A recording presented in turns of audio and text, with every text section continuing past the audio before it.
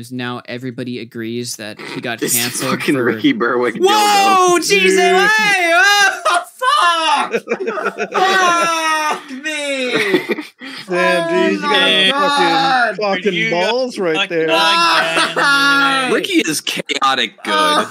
Oh, oh my god! Okay, in all fairness, Muda has like, or not Muda, fuck. why did Delete the Muda? fucking bot. Critical has the same shit in his like thumbnails.